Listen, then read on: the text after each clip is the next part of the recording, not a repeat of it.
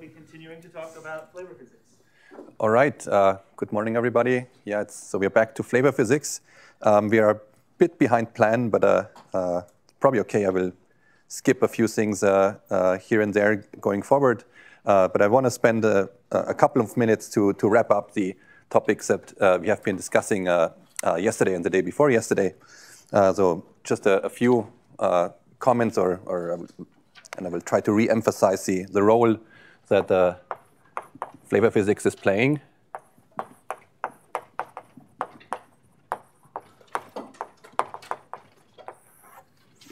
And uh, there are two sides to that.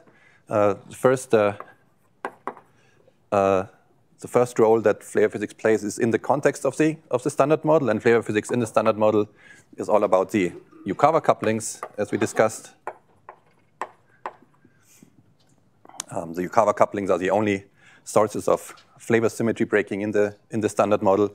So if you're talking about flavor physics in the standard model, we're talking about the, the physics of the, of the Yukawa couplings, um, how they break the flavor symmetry, and uh, also what the structure of the, of the Yukawa couplings is. Uh, we know that the Yukawa couplings have a very hierarchical structure. The, the masses of the quarks and leptons are very hierarchical. The, uh, the misalignment between the the up and the down Yukawa, so the CKM matrix is a very hierarchical structure.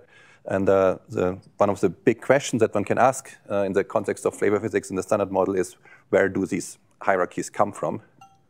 So the, what is the origin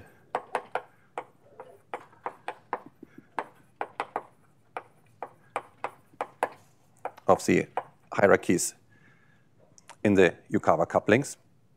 And, uh, uh and this question motivates a flavor model building. So uh, uh, if one thinks that these hierarchies are not just there by chance, that uh, if these Yukawa couplings generically would be just some order one uh, couplings, uh, uh, you wouldn't expect this hierarchical spectrum that we observe.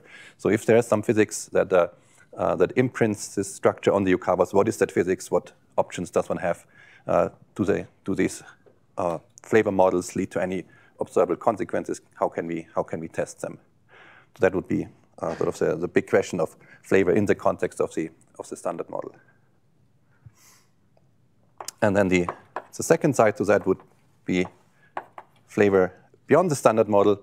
Uh, and there, uh, the question that one asks, are there any other sources of flavor violation beyond these uh, Yukawa couplings?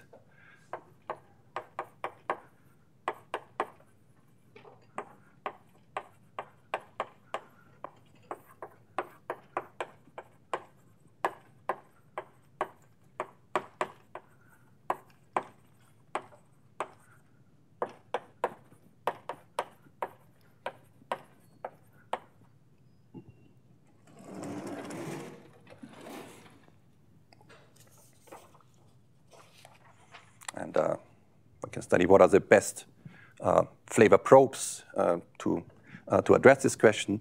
Um, the, the, the, first part is um, flavor in the standard model in some sense is a, is a very theoretical question, trying to come up with models that, that generate hierarchies. The second part, flavor physics beyond the standard model, is more uh, experimentally driven in, in some sense. One uh, makes measurements of, of flavor transitions uh, and compares them to standard model predictions and tries to understand if there's anything uh, beyond the sources of flavor breaking uh, that exist in the standard model. And uh, in principle, that, that can go uh, uh, in a few ways. it could happen that one actually discovers discrepancies between standard model predictions and measurements in the context of, of flavor changing transitions. So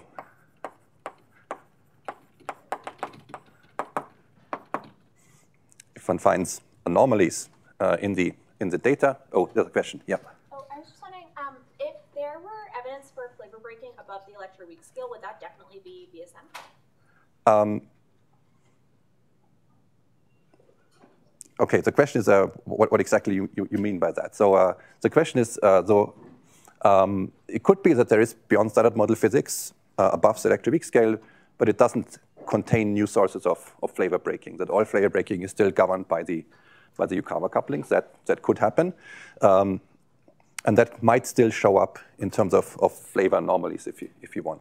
Uh, or it could also be that uh, this new physics comes with new sources of flavor violation, uh, and then you might see uh, sort of more, uh, uh, more dramatic discrepancies between standard model predictions and, and, and experimental results and flavor transitions. Um, but yeah, so um, if one does observe such discrepancies between experiment and standard model predictions, if one has these anomalies, uh, that those anomalies they then can be interpreted as indirect evidence for for some uh, presence of, of new physics.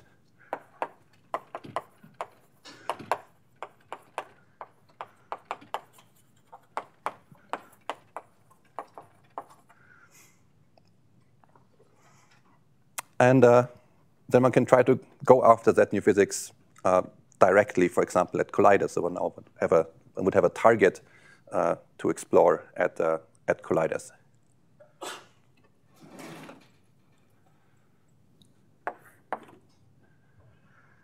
The other way that that could go is that uh, one might have a discovery of new physics uh, at a collider first, or some direct uh, discovery of, of new particles, um, maybe in experiments that look for axions or, or for dark photons, or um, some discovery of, of, a, of a new particle.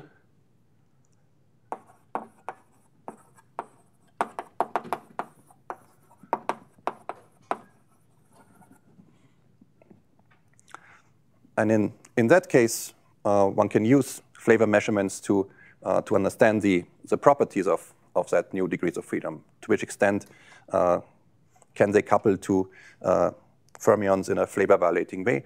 Can uh, their couplings uh, be new sources of flavor violation? one has existing constraints already, and in, in many cases, one will come to the conclusion that these new particles probably have to have couplings which are fairly aligned with the standard model sources of, of flavor breaking. And uh, there is an example, uh, a recent example where this happened when the Higgs was discovered uh, 10 years ago. Uh, very soon after, there were many papers written that discussed to which extent can the Higgs actually have flavor changing couplings and to which extent do we uh, know the, the flavor properties of the Higgs from already existing measurements of flavor transitions. And uh, as it turns out, the, the Higgs uh, the flavor changing coupling of the Higgs have to be very small. Otherwise, we would have already seen indirect evidence of those uh, new sources of flavor violation in low energy flavor probes. So.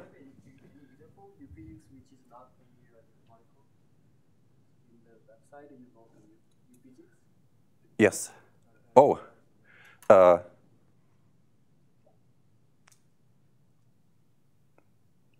oh, you, are wondering why I wrote generically new physics and not new particle. Um, yeah, I, I, guess, I don't know if you can come up with, with sort of very exotic types of, of new physics and particles or, or something like that that, that wouldn't uh, uh, uh, be described as, a, as actual uh, uh, particle state in, in, in, a Lagrangian. yeah, I, I, that was not a I didn't want to make the impression that that this is uh, that I'm looking for very exotic stuff here. So most of the time, yes, this will be some particles that I that I uh, would introduce to explain these anomalies, and these particles I can then try to look for at at colliders or at other experiments that look for new particles directly. Not sure if I understood your question, but.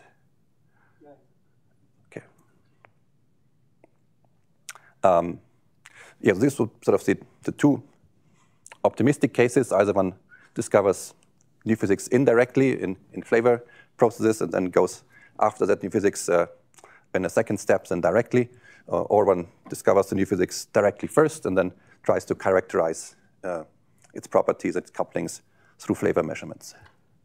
Of course, there's a third option, one discovers uh, no new physics anywhere uh, in, in that context. And while in that case, we can still do cosmology or something. All right, um, that's the sort of the big picture, the role that flavor is, is playing.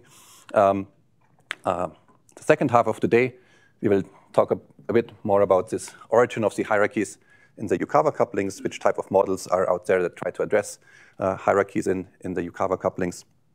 And then uh, tomorrow we will uh, discuss some of these flavor anomalies that are, that are out there and to which extent they, they can be indirect evidence for new physics. Uh, so sort of a, a, case study of, of how this uh, direction might, might play out. Uh, but before we go there, I want to spend a, a bit of time discussing um, how we actually know this uh, uh, standard model flavor sources. Uh, what do we know about the masses and CKM mixing angles in the standard model? Where do these measurements come from? Um, and how do we how we did we figure out that we have these hierarchical structures in the in the Yukawa couplings?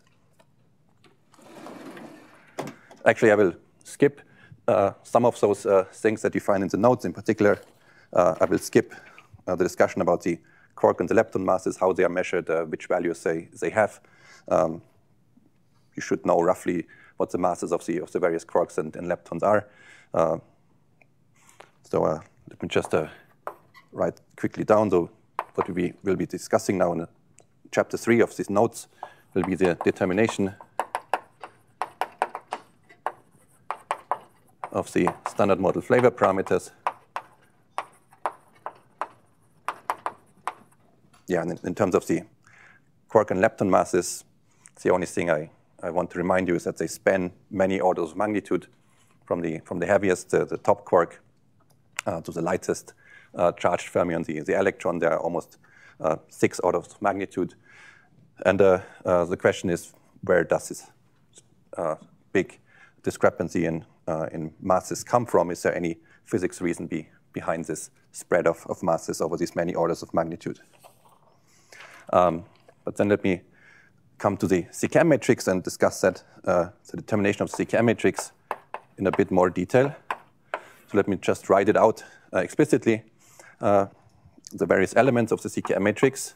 We have VUD, VUS, VUB, VCD, VCS, and VCB, and then VTD, VTS, and VTB.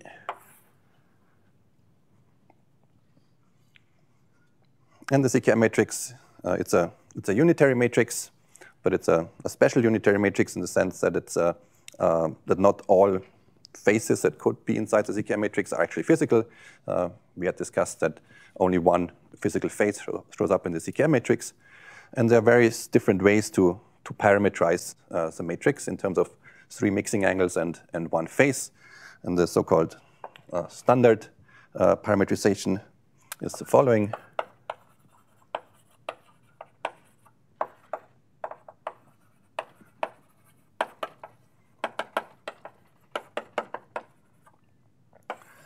One writes the CKM matrix as a product of, of three uh, rotations a rotation uh, between the second and the third generation, cosine of a mixing angle, sine of a mixing angle, minus sine of a mixing angle, cosine of the mixing angle.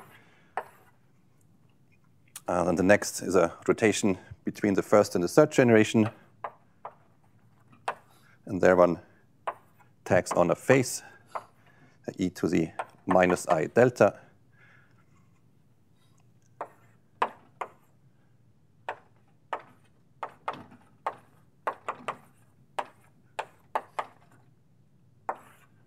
and then finally a rotation between the first and the second generation.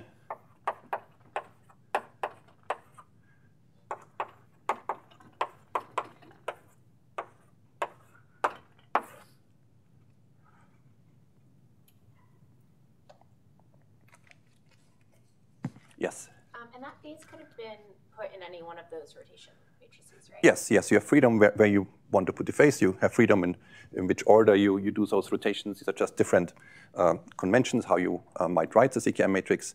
That's just a standard parameterization that, that people had uh, agreed on to, to use. In, in this particular uh, parameterization, this phase uh, delta, when you multiply this out, uh, shows up in, in some of those CKM matrix elements. So in the standard parameterization, VUD, VUS, VCB, and VTB, they uh, are real. and the phase only shows up in the, in the other five entries. If we were to put the phase in some other place, then other CKM matrix elements would be complex, others might be real. Now, experimentally, uh, we know that those mixing angles are small. Um, in particular, uh, we know that this uh, mixing between the first and the second generation um, is quite a bit smaller than, than 1. Uh, we know that the mixing between the second and third generation is quite a bit smaller than the mixing between the first and second generation. And we know that the mixing between the first and the third generation is quite a bit smaller than the mixing between the second and the third generation. And uh, that motivates a, a reparameterization, uh, the so-called Wolfenstein parameterization uh, that I want to introduce. So one can make this hierarchy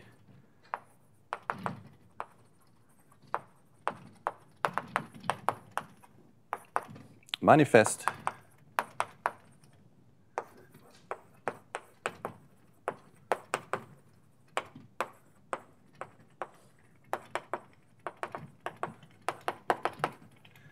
in the so-called Wolfenstein parameterization, which is a, an exact reparameterization of the, uh, uh, of the CKM matrix. Uh, so instead of S12, uh, well, human just uh, relabels S12 as lambda, the Wolfenstein parameter lambda. S23, uh, this gets relabeled to lambda squared times A. So we have this hierarchy that S12 should be much smaller than 1, so this lambda should be much smaller than 1. S23 much smaller than uh, S12, so now we call that thing lambda squared, and then put in some fudge factor A to uh, compensate uh, for any differences uh, uh, that, are, that are not included when uh, we just write S23 as lambda squared. And then S13 times the phase that we write as A times lambda cubed. And then we need a complex fudge factor that we call rho plus I eta.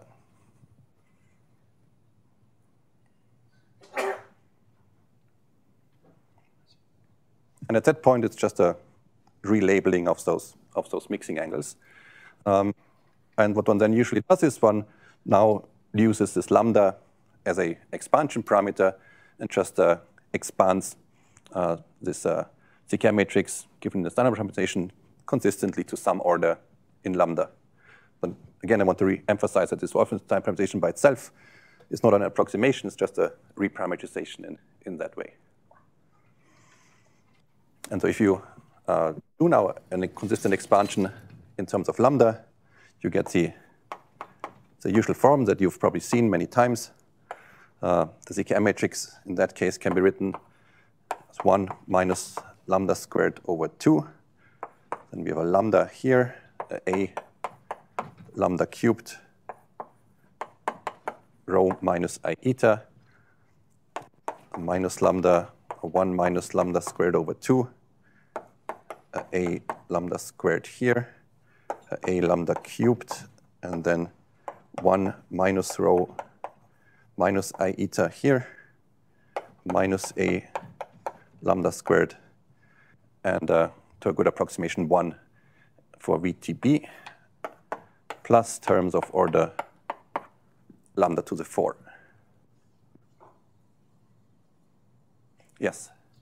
In the S one three definition, it seems overdetermined having a rho and eta. Couldn't you just do it with two? Um, rho and eta. You could, you could, you could uh, write it in, in, in that way. Um, there's no real advantage, I, I, guess, to put a A also, also, here.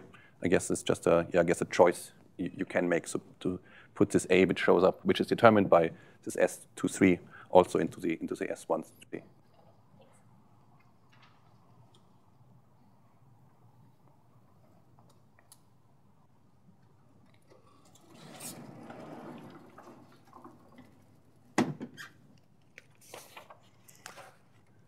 Now there's a slightly different uh, set of parameters that is sometimes used uh, in terms of, uh, instead of rho and eta, uh, the parameters called rho bar and, and eta bar, and they are defined in the, in the following way.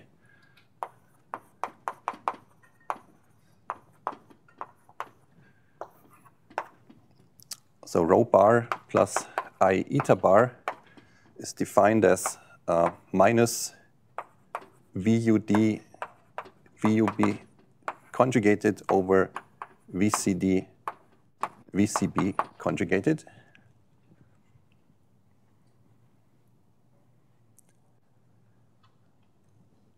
And if you look at the um, uh, this lambda expansion of the CKM matrix, uh, and at this definition of what rho bar and, and eta bar are, uh, you find that rho bar and eta bar are very close to rho and eta. Uh, they differ by terms of order lambda squared. So rho bar is the same as rho up to small corrections. And the same for eta. Eta bar is approximately the same as eta up to small corrections.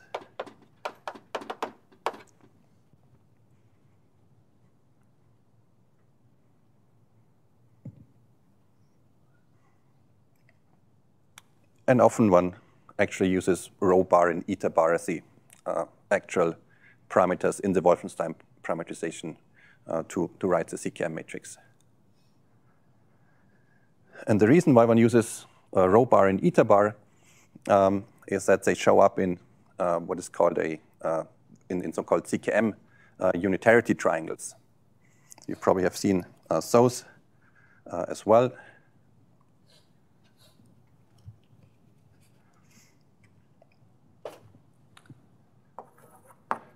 So rho bar and eta bar.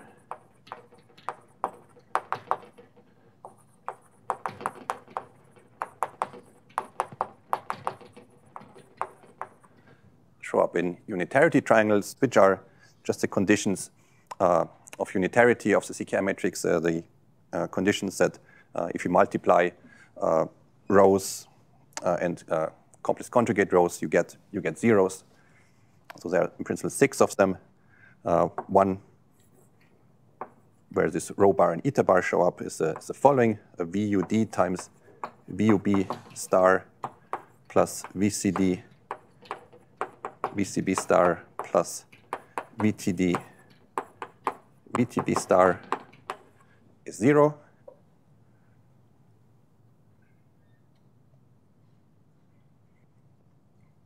So these are three complex numbers adding up to zero. You can uh, draw that as a triangle in the, in the complex plane. And uh, it's convenient to normalize that uh, such that one of those uh, terms is 1. So we can divide out VCD, uh, VCB star.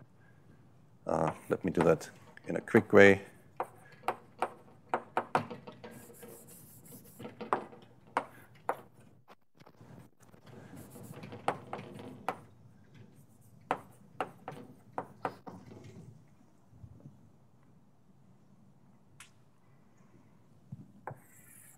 And then this first term that corresponds exactly to the definition of, of rho bar and eta bar. So this relation, this unitarity relation, uh, can then be drawn as a triangle in the rho bar eta bar plane. Where we have this one, and uh, and then uh, this term here, the VTD times VTB star over VCD VCB star. That will be some complex number. Uh, the length of that of that side of the of the triangle is well the absolute value of, of that.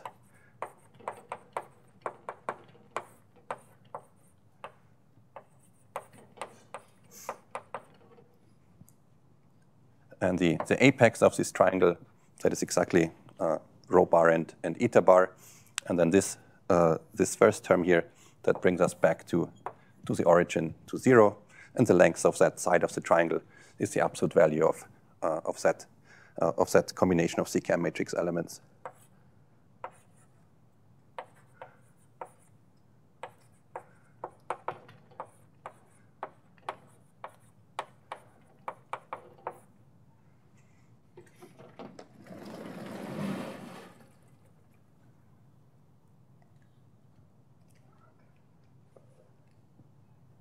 and these angles of this triangle, uh, they also have names.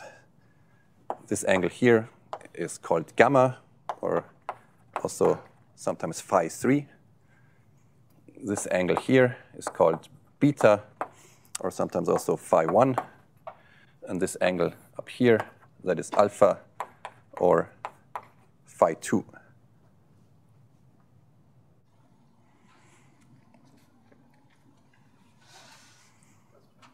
Yes.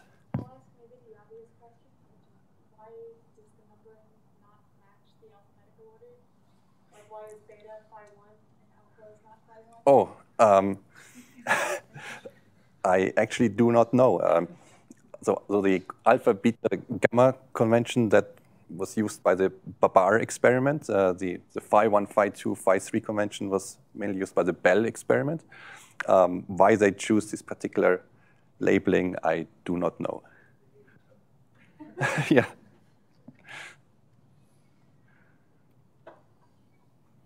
Yes. Something I feel like I've never quite understood is um, what's the phenomenological implication of having this complex phase that we're talking about?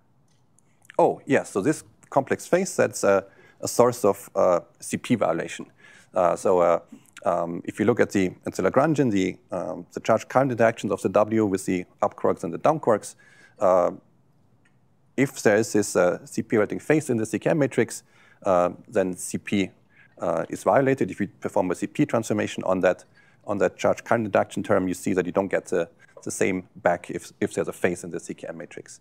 So it's a source of, of CP violation, and uh, many uh, it leads to many CP violating phenomena in in the in the flavor sector, both for for kaons and also for B mesons and also for, for D mesons.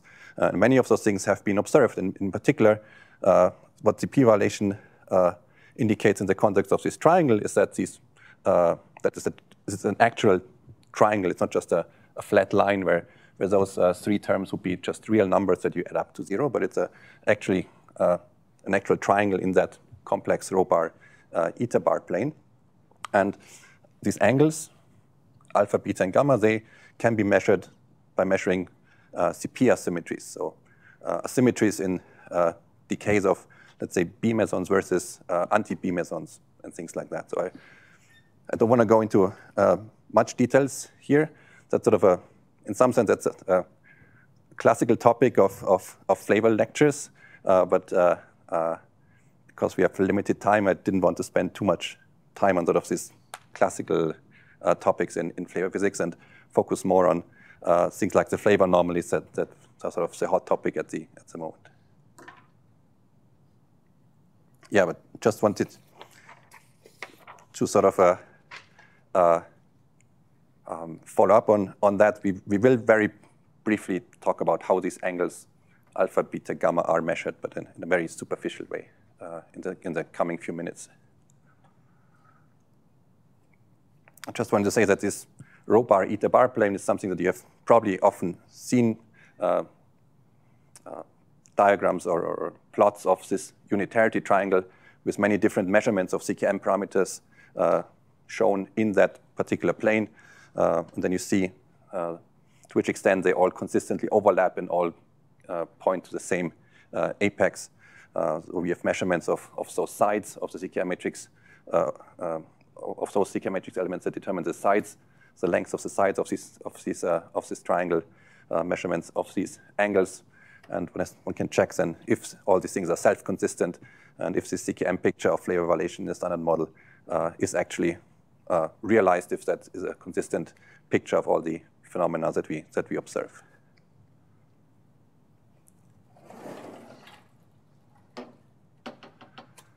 Yeah, so just very, very briefly, um, how uh, are those various entries of the CKM matrix measured? um, there is a VUD, or the, the absolute value of VUD. That is uh, the, the most precise measurement of that comes actually from uh, nuclear beta decay. Uh, we have transitioned from a uh, um, from a neutron to a uh, to a proton.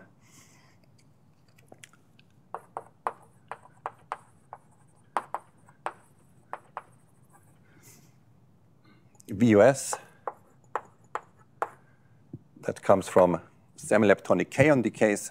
So we have a transition from a strange quark to an up quark. So things like k2 pi L nu.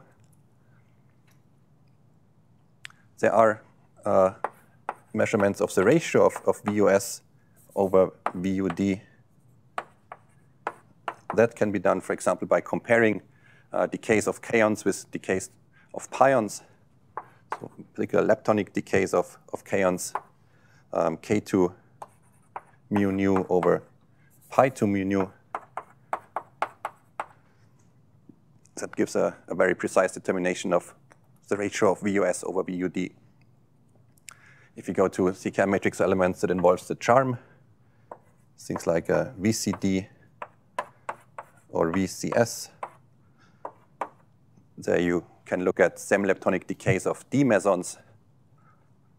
So things like D2 pi L nu or D2 K L nu.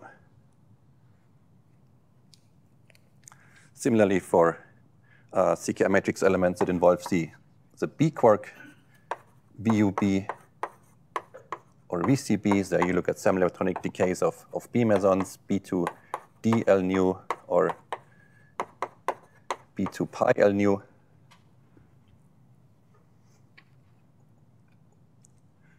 What is also uh, done in the case of VUB and VCB um, is to look at so-called inclusive decays. So, so these decays, B2D L nu, B2 pi nu, that would be called exclusive decays. They have a well-defined uh, uh, hadronic final state, uh, a D meson or, or a pion in, in, in those examples.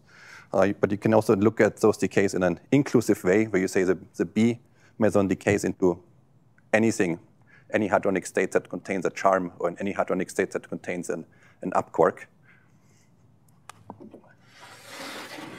Those would be inclusive B2XC L nu or B2XU L nu.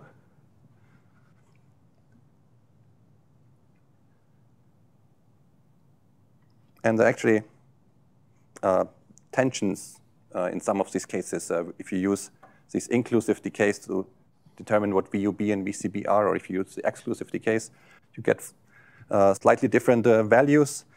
Uh, the tensions are at the two to three sigma level, and sort of that's one area where there's quite a bit of work being dedicated to trying to sort out what's happening there.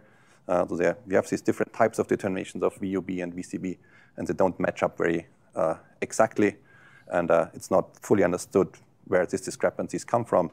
So there might be some systematic uncertainties in either of these two types of determinations that are not fully understood, which might be uh, leading to different values for VUB and, and VCB. Um,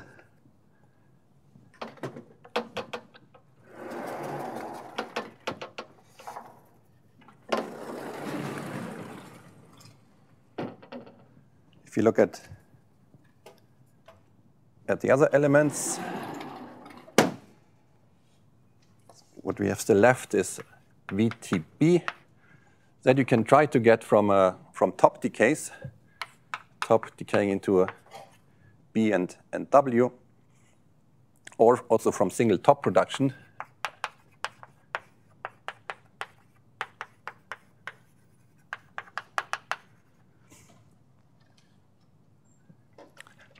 If you um, assume unitarity of the CKM matrix, well, you're, you're measuring essentially one. Um, so uh, uh, under the assumption of, of, of unitarity, uh, these measurements, they, they don't provide uh, a lot of non-trivial input into measurements of CKM matrix parameters. Yes?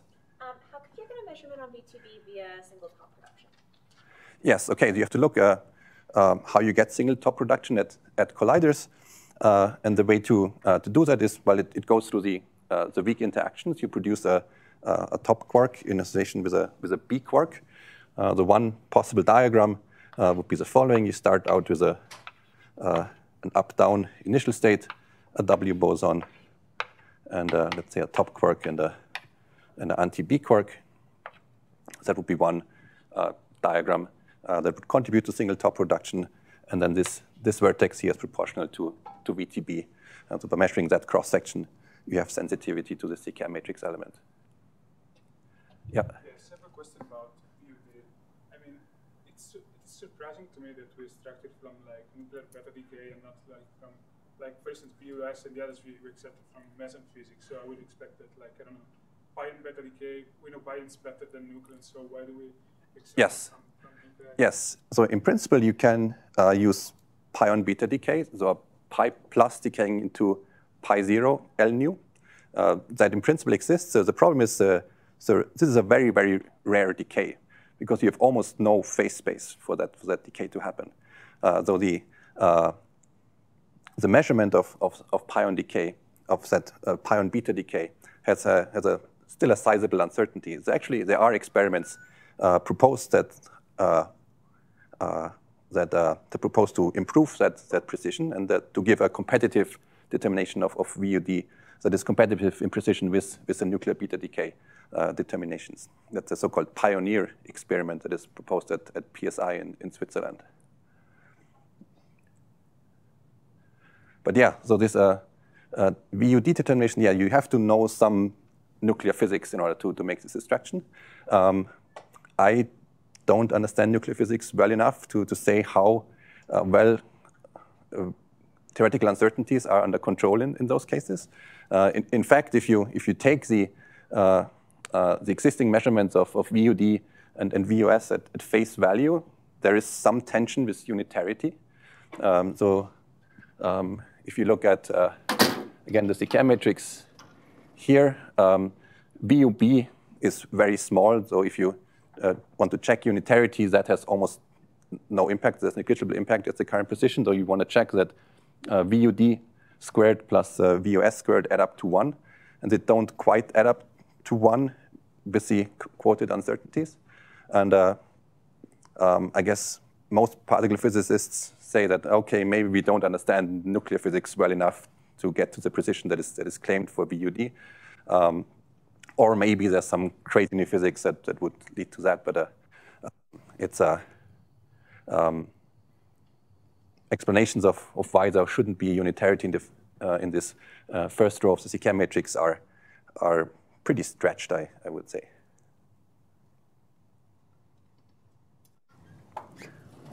Yes? So if they don't have one, can you say that's a fourth generation?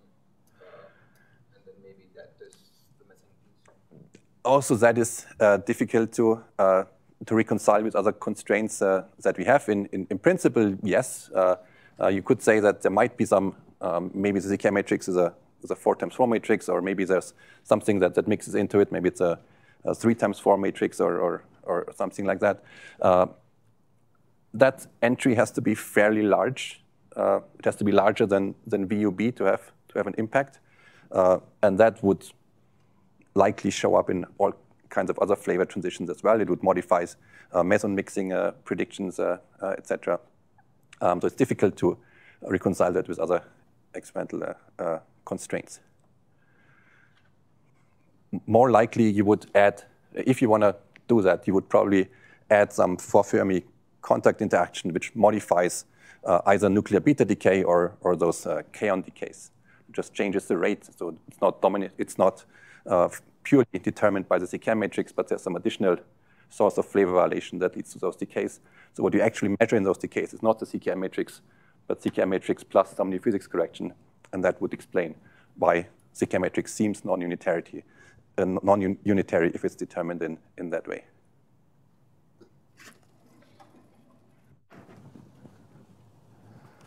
Okay, um, and then uh, the last two entries that would be VTS and VTD.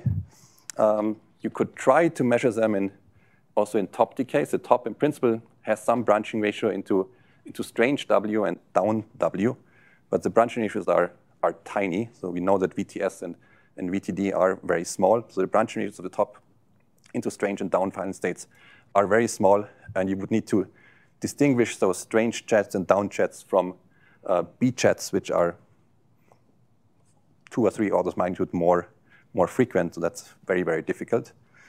So the, the best way to get to VTS and to VTD is through loop processes, where you have the top quark inside a loop. For example, these uh, meson mixing uh, amplitudes we had looked at uh, previously, where you inside the loop you have a, have a top quark and a W boson. So meson mixing uh, oscillation frequencies, B meson mixing oscillation frequencies, they are uh, proportional to those CKM matrix elements. And you can use the measurements of, of B meson mixing to determine what VTS and VTD are.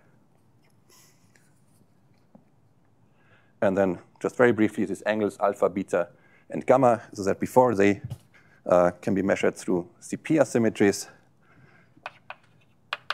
So beta, that's a very famous measurement. That's the time-dependent CP asymmetry.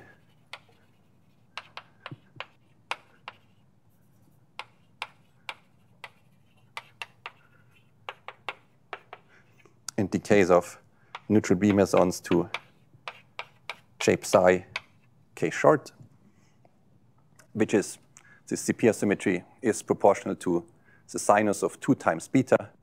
And uh, the B factories, BaBar and Belle, they were essentially designed to, to measure this CP symmetry and to measure this angle beta.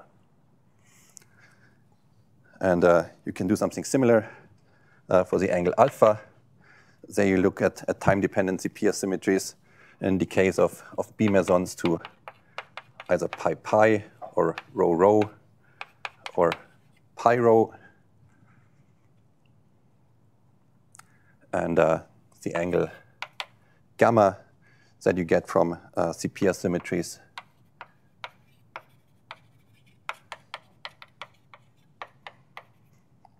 in uh, B meson decays to D mesons and, and kaons. That is sort of the main way to determine gamma. And uh, you can convince yourself that this makes sense if you, if you uh, uh, look here at, again at the CKM uh, unitarity triangle. If you see which CKM matrix elements enter uh, into this triangle, you can figure out uh, to which phases of CKM matrix elements these angles alpha, beta, and gamma correspond to, and then you know which types of decays you need to look at to be sensitive to the corresponding CKM matrix elements. Yeah? Um, yes, good. Um, so the, the B mesons, they, they oscillate. We have BB bar oscillations, uh, which is a time-dependent uh, phenomenon. And though these time-dependent CP asymmetries are essentially uh, uh, you, what you compare is uh, the decay rate of a B meson into J psi short and of a B bar meson into J psi short. And you do that in a, in a time de dependent way. So you resolve the, uh, the oscillations of the, of the B mesons. And in that way, you get this time dependent uh, CP asymmetry, which oscillates with the uh, oscillation frequency of the B mesons. And the amplitude of this oscillation is proportional to the sinus of, of two times this angle beta.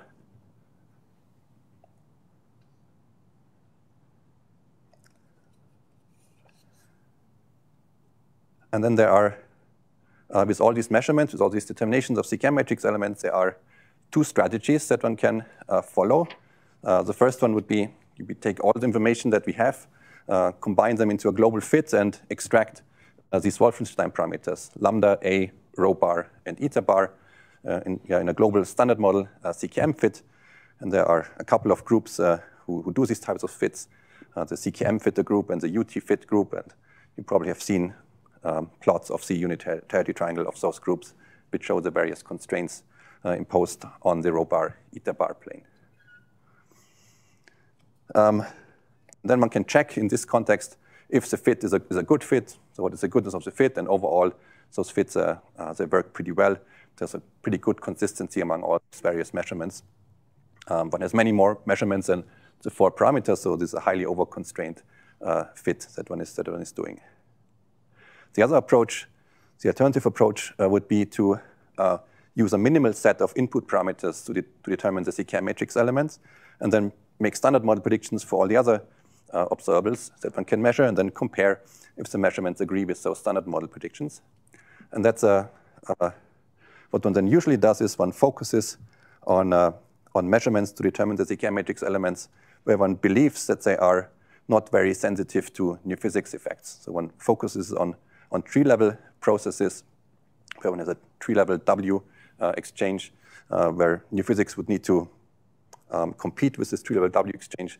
It would need to be fairly light and a fairly large coupling, so most likely that would have shown up uh, somewhere else already. So one can focus on a few uh, measurements where one can be fairly confident that there shouldn't be large new physics contamination, use those measurements to determine what the CKM parameters are, and then use uh, those uh, determinations to make predictions for particular loop level processes, which potentially are sensitive to new physics, and then compare those uh, predictions with, with measurements. Uh, basic uh, setup uh, that one uses questions about, about this part? Okay, then uh, let me switch a bit gears uh, and let's go to the next topic that is about uh, explaining uh, hierarchies in the standard model Yukawa uh, couplings.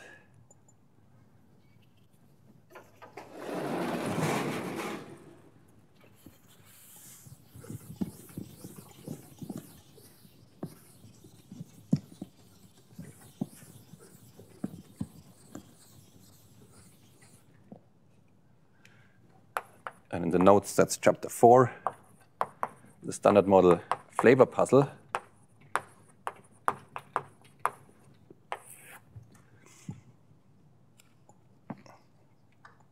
And uh, the standard model flavor puzzle, well, that's, that's a, sort of the name that one gives to this uh, question of the origin of the hierarchies in the, uh, in the Yukawa couplings or the standard model flavor parameters. Um, there is, a, beyond the question of, of the origins, there's a, a zeroth order question. Uh, why are there three generations?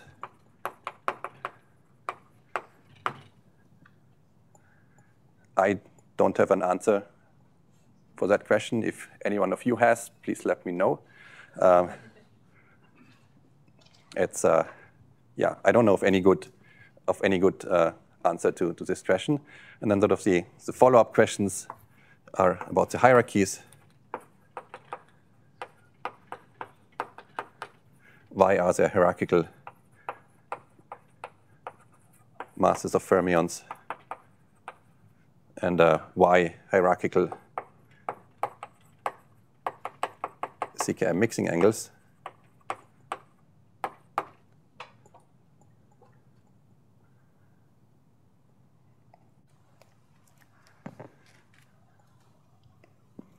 And uh, if one tries to address this question about the hierarchical masses and, and mixing angles, one has to make uh, some assumptions about the, about the starting point. Um, so one can either assume that uh, electroweak symmetry breaking happens as in the standard model, that this one Higgs doublet which gives mass to, uh, to all the uh, fermions. Yes, that's a question question that the most natural thing would be for all the fermion masses to be degenerate, or just same order of magnitude? Not that you wouldn't expect them to be degenerate, unless you have some symmetry reason of why they should be all the same. Uh, but you would expect generically that they all that they are all of the same order.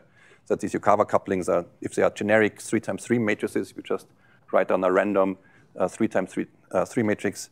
Uh, the eigenvalues of that matrix wouldn't be very hierarchical. They would be all roughly of the same order. Uh, and the other couplings that we know in the standard model, the, the gauge couplings, they are roughly of, of order one, or at least not very small. Um, so naively, you might expect that the Yukawa couplings should have uh, a similar order. So all of the masses should be uh, coming from order one Yukawa couplings, so all the quarks and leptons should be around the electroweak scale. But they are not. Many of them are much, much lighter. So the question is, why are some of the eigenvalues of these Yukawa matrices uh, much, much smaller than one? And, uh, and yeah, as I said, th that picture, that uh, all these hierarchies should actually come from hierarchies in Yukawa couplings, that holds uh, if you have electroweak symmetry breaking S in the standard model. If there's one Higgs, uh, which gives mass to all the fermions, then you need to have hierarchies in the Yukawa couplings to explain the hierarchies of the fermion masses.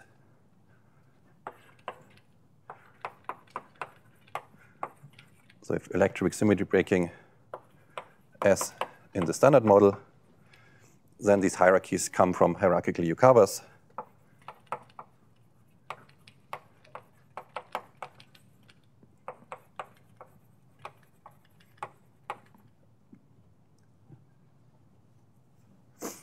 And then you need, or you would like to come up with some mechanism that gives you hierarchical Yukawas. Um, on the other hand, you, you could try to sort of modify how electroweak symmetry breaking works. Uh, for example, you, you could uh, have a scenario where you have more than one source of electroweak symmetry breaking. Maybe the, the heaviest uh, uh, uh fermions and the massive gauge bosons, maybe they get their, vacuum, uh, their masses from the vacuum expectation value of the, of the Higgs that we have discovered, which is largely standard model-like. But maybe there's an additional subdominant source of electroweak symmetry breaking, and the light fermions, they get their mass from, from that subdominant source of electroweak symmetry breaking. That might be sort of an alternative route that you, that you might want to take. Um, so uh,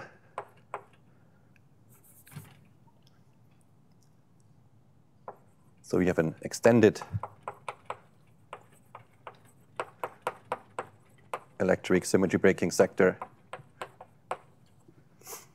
and then part of the hierarchies in the masses of the fermions might come uh, from the fact that you have more than one source of electroweak symmetry breaking, and some of these sources might be small.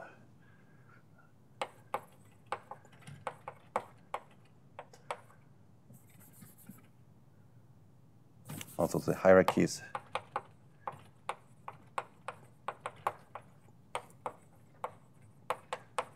might be partly due to some subdominant source of electroweak symmetry breaking.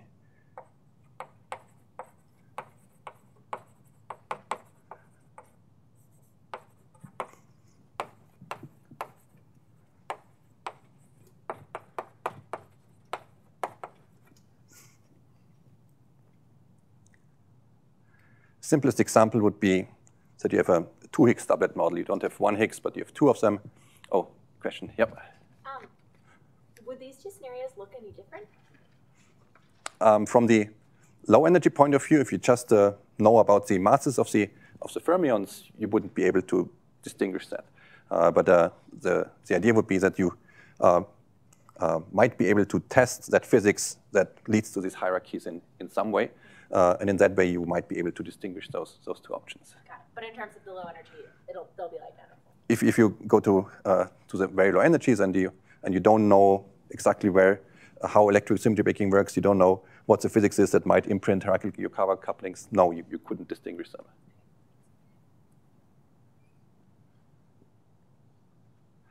Um, so the simplest example of this second option would be a two Higgs doublet setup uh, where you have one Higgs, um, uh, which has a large vacuum expectation value, a second Higgs, which is a somewhat smaller vacuum expectation value, uh, and they couple to different uh, fermions, and in that way, uh, you get some hierarchy for fermion masses based on the hierarchy of vacuum expectation values. Um, this happens to some extent in the minimal supersymmetric extension of the standard model.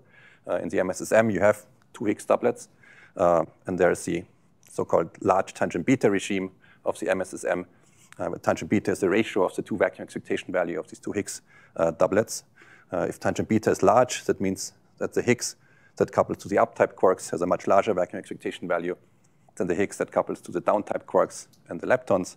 Uh, and in that setup, you could explain the uh, hierarchy between the mass of the top quark uh, on the one hand and then the, the bottom quark and the tau uh, on the other hand by this large value of, of tangent beta, by this large hierarchy between vacuum expectation values.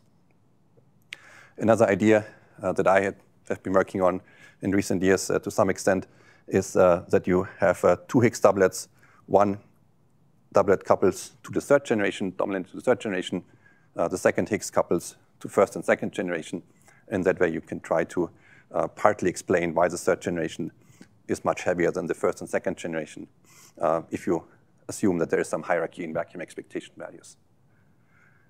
The problem with those models is that, yeah, you only partly explain hierarchies. Uh, you, you could go to an extreme case where you uh, have sort of a, a, private Higgs for each fermion and then have vacuum expectation values that are very hierarchical and reproduce the fermion masses. But you don't really gain anything because now you just have shuffled hierarchies in Yukawa couplings into hierarchies of vacuum expectation values. And arguably, hierarchies in vacuum expectation values are even more complicated to explain than hierarchies in, in Yukawa couplings. Um, so in the end, in any case, you want to have some mechanism that does produce hierarchies in Yukawa couplings, either to fully explain the hierarchical structure of the masses and CKM mixing angles, or uh, at least uh, largely explain them, uh, even if some of the hierarchies might be explained in another way.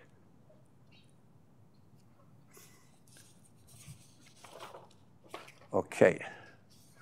Um, so let me give you a, a few uh, examples of uh, mechanisms or, or models uh, that uh, people came up with that can lead to hierarchical Yukawa couplings.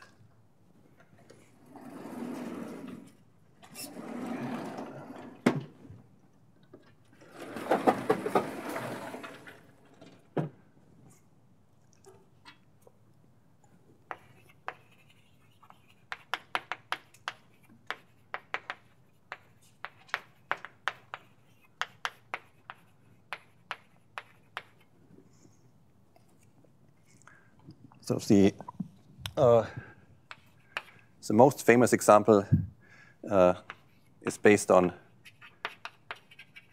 spontaneously broken flavor symmetries.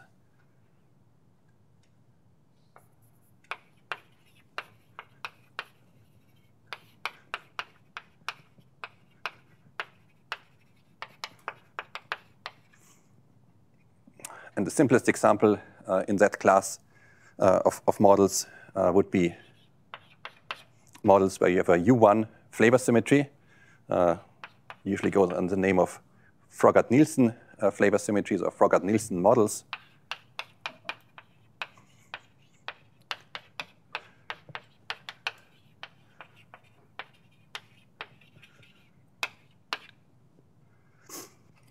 And we, I want to discuss those in a, uh, in a bit more detail uh, after I've done this list of, of few options. So we'll come back to that. Um, the second uh, type of scenarios are extra dimensional models where you have some exponentially small wave function overlap of different uh, generations of, of fermion fields.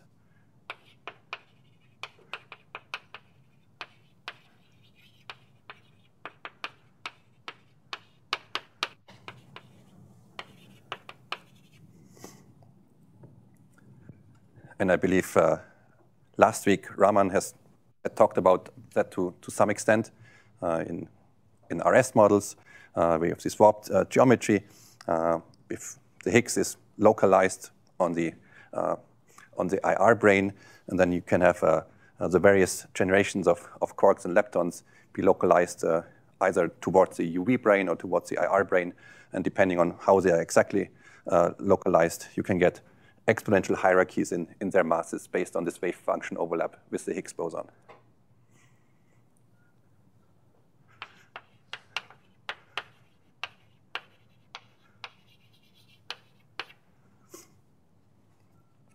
There's the idea of radiative flavor.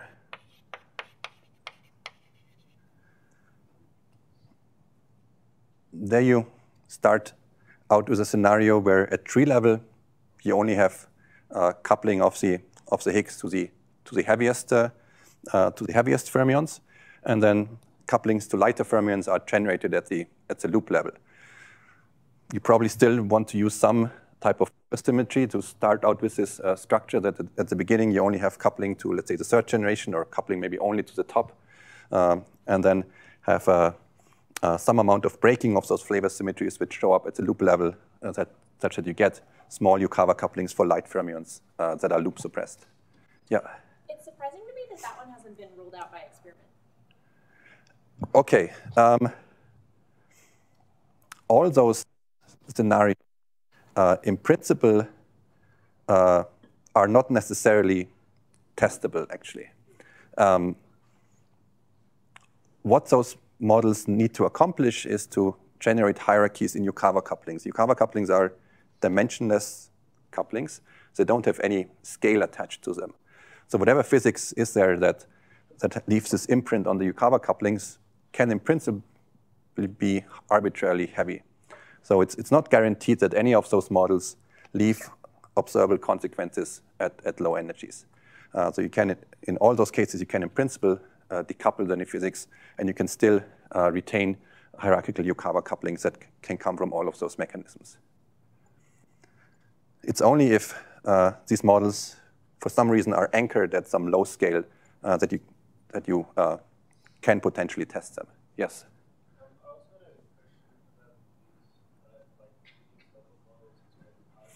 Yes.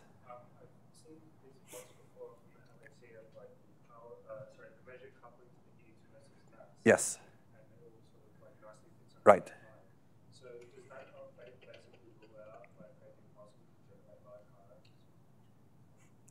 Uh, also, you, you, you, can't rule out those as well, uh, and it's basically the same the same reason as uh, as uh, for the models that try to address everything in terms of Yukawa hierarchies. Uh, two Higgs doublet models have uh, in them the so-called decoupling limit. Uh, so if you, if you take uh, this 2 Higgs doublet model uh, and you, you make the second doublet heavier and heavier, you recover the standard model. so all the couplings of the, of the light Higgs, the physical light Higgs that, that, that remains in the spectrum, those couplings all become uh, exactly standard model-like if you completely decouple the, the second Higgs. Uh, so no matter how you start out coupling this, uh, this second Higgs at the beginning, no matter how crazy Yukawa couplings uh, you have, no matter how crazy flavor structure you have, uh, if you make the second doublet heavy, uh, in that limit, the, the light Higgs remains standard model-like. So you can decouple the second Higgs doublet and still retain the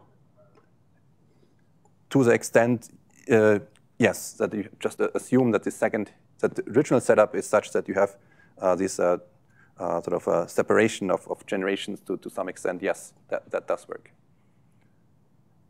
Yeah. I mean, if you change the mass of the second doublet, you need to keep the that fixed of the second big. So, like, I mean, if you have a problem with the board, there is some amount of, of, of fine-tuning that, that, is, uh, that is happening in, in those cases. Uh, so that has to do with, uh, yeah, the, the problem that uh, you're explaining part of the hierarchies through hierarchies of vacuum expectation values. And uh, uh, if you have the second doublet very heavy, you wouldn't necessarily ex expect that the, the, vacuum expectation value of, of, of that, that one is, is very small. There would be some, something that you need to fine tune in your potential to, to make this work.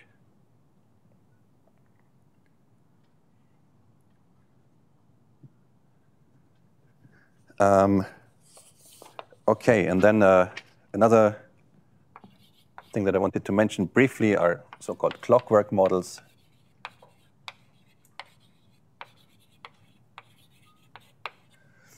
Um, this is an idea where for each, uh, so in the context of flavor, that would correspond to a scenario where uh, to each uh, standard model fermion, you, you introduce uh, a chain of, of additional fermions which are chained together by, um, uh, by mass terms uh, in such a way that you get a, a mass matrix which has one zero eigenvalue, uh, this uh, the mass eigenstate that corresponds to that zero mode, you would interpret as, as the standard model uh, state. And the standard model state would have, an, again, an exponentially small uh, overlap with one end of that chain of, of, fermions. And if the Higgs couples to that end of, of chain of, of fermions, you would get exponentially suppressed uh, Yukawa couplings in, in that way.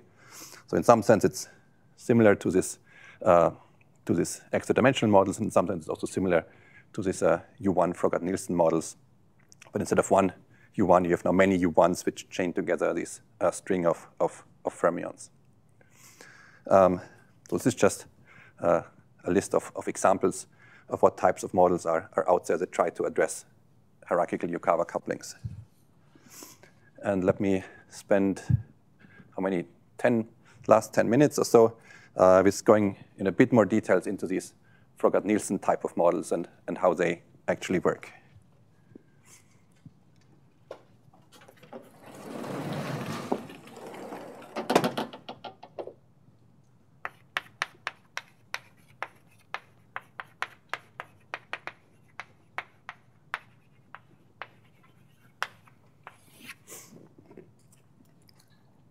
And I want to discuss a, a toy example where we will try to explain why there might be a hierarchy between the mass of the up quark and the mass of the, of the top quark.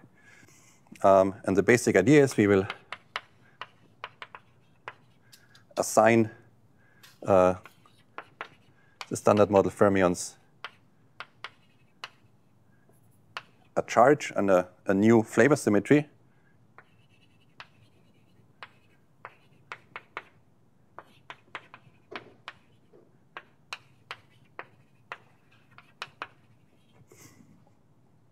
So let's say the, the charge of the left-handed top quark is zero.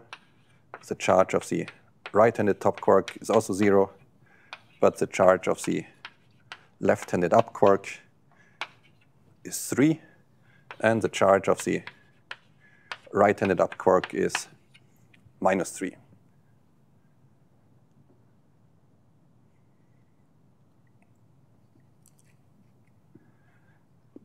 And with those charge assignments of the fermions, I'm allowed to write down uh, a Yukawa coupling for the, for the top.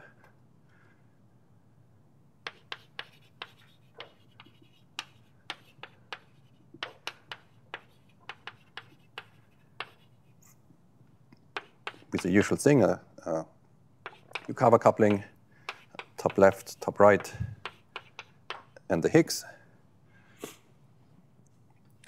That's perfectly compatible with, with those charge assignments. The top is uncharged. Uh, that's as in the, in the standard model. But I wouldn't be allowed to write down a Yukawa coupling for the, for the up quark because uh, the charges don't, don't work out. Uh, so in order to, to couple the Higgs to the up quarks, uh, I need to introduce some additional field which can compensate for these charges that the, that the up quarks have. And I want to make the following choice. Uh, so if I if I look at the up quark,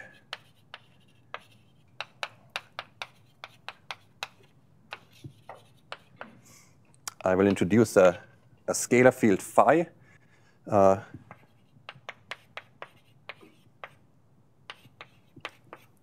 which has charge plus 1. So it's the scalar field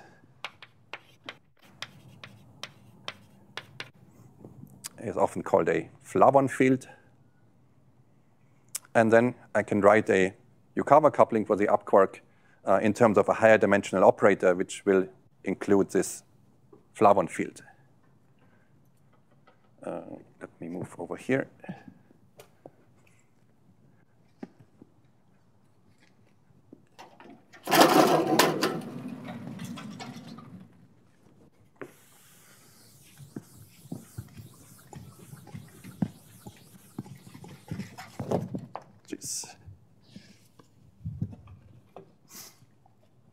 So now I can write a uh, coupling that I call YU tilde, and then I need six powers of that of that Flavon field.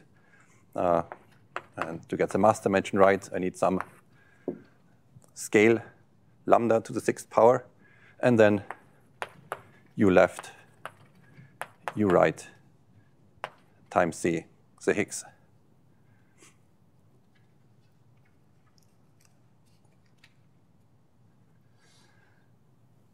Next, I will assume that this scalar field acquires a vacuum expectation value uh, and spontaneously breaks uh, the flavor symmetry.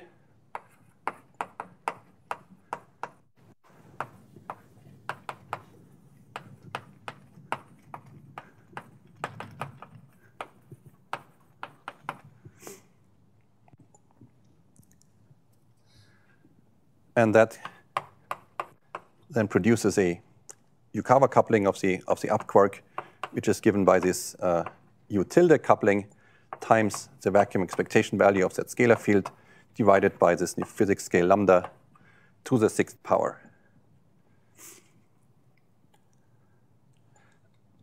And as long as this vacuum expectation value is somewhat smaller than this scale lambda, I can engineer an exponential suppression of that proto-Yukawa coupling U tilde and get something uh, that is very, very small. That U tilde would be some order 1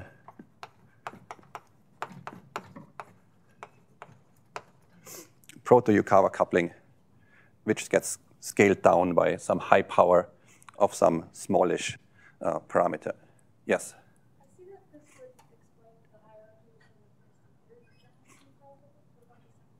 Exactly. So that uh, is something you, you can work out as an exercise in principle now. You just have to uh, make charge assignments for all the uh, different types of, of fermions such that you get uh, uh, such you can reproduce uh, the hierarchical spectrum of, of, of masses that, that we observe.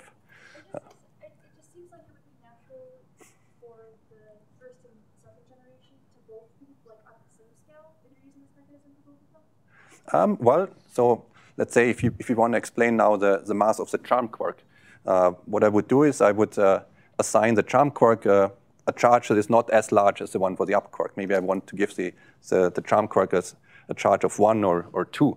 And in that case, I will get uh, the charm Yukawa coupling now is some order one charm proto-Yukawa coupling, and now this ratio of phi over lambda to some smaller power, maybe two or three or four or something like that. And so, yeah, what you want to do is you want to uh, assign then all the standard model fermions appropriate charges such that you get uh, the spectrum that, that is observed. Yes?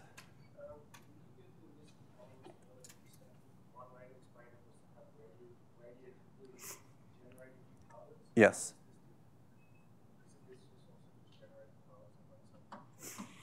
Um, those operators, they, they don't need to show up at, at loop level. They, they can, this can be tree level. Um, so the sort of the simplest UV completion of, of, of that operator would be a, a, scenario where you have the Higgs coupling to some uh, heavy fermion, uh, and then you have some this field phi, which couples to that fermion, and then you have some some other fermion, and then yet some other fermion, and you have some chain of, of fermions. And somewhere at the end, let's say you have the left-handed up, and somewhere here at the end of that chain, you have the, the right-handed up. That would be the, the simplest way to, to get this type of structure. In the case of radiative uh, mass generation, yeah, you, you do have actual loops that, that generate uh, those couplings of the Higgs to the light generations.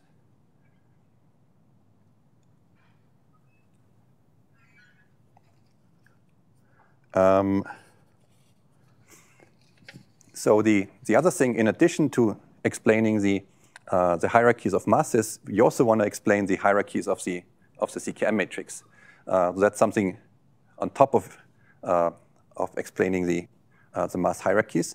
Uh, and uh, in that context, it, it's typically convenient to make a choice of what that ratio of the vacuum expectation value of the Flavon field over that, that scale is.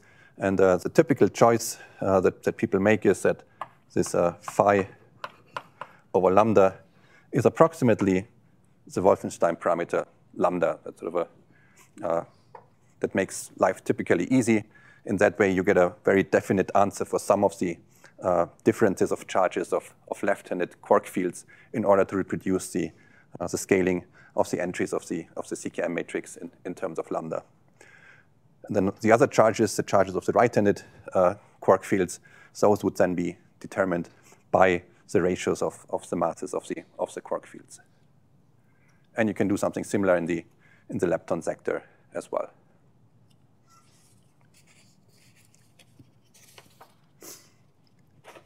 and yeah, so that uh, uh, brings us, I guess, to the end of, of today. Any any more questions about, about this? Yes?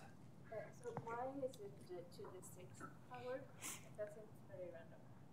Yes, so the way you have, Yes, the, way I have introduced it is, is very random. I just wanted to give some example of some suppression factor. Uh, if you choose uh, this ratio to be roughly lambda, uh, I think 6 might get you roughly to the ratio of, of up quark mass to top quark mass, maybe not quite. Uh, if, if you put in the numbers, this might be, it needs to be maybe 7, maybe 8, maybe 5, depending on what you assume that this ratio is. Uh, you want a, sort of a large enough number that you can explain all the ratios of, of quark masses to some approximation. Uh, yeah, but, but 6 was just some random example. Yes?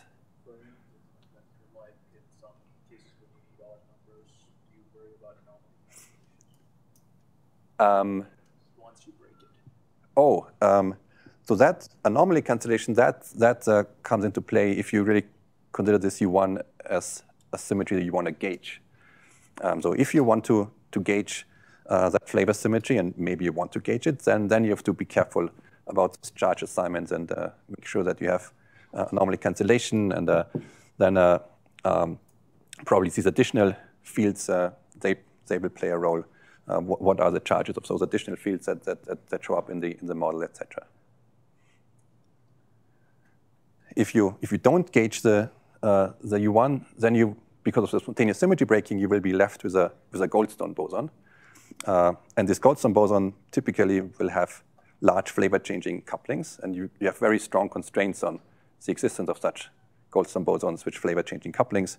The most strong, the most stringent constraints comes from decays of kaons, k to pi, and then this Goldstone boson A.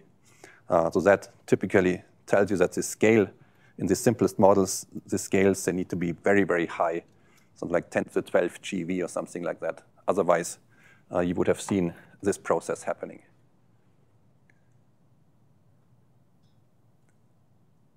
Okay, uh, I guess uh, that's it for today. Thanks.